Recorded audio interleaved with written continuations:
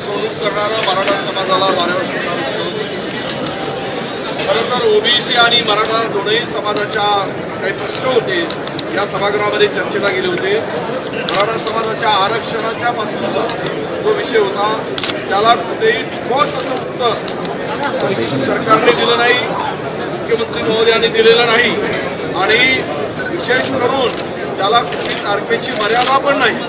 म्हणजे आजचं उत्तर गोदा काळ टिकला जुवा असं म्हणता येईल.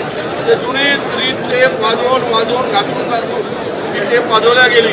पण ठोस निर्णय कधी गेला ज्या तारीख पे तारीख तुम्ही दिली आणि तुम्ही चोवीस तारीख शेवटची दिली होती त्या चोवीस तारखेच्या आत मराठा समाजाचा आरक्षणाचा प्रश्न सुटेल ओबीसी समाजाला धक्का न लावता सुटेल अशी जी काही वक्तव्य केली गेली सरकारकडून त्या सर्वांना हक्काळ बसण्याचं काम झालं. आणि सर्व समाजाला वाऱ्यावर सोडण्याचे काम झालं.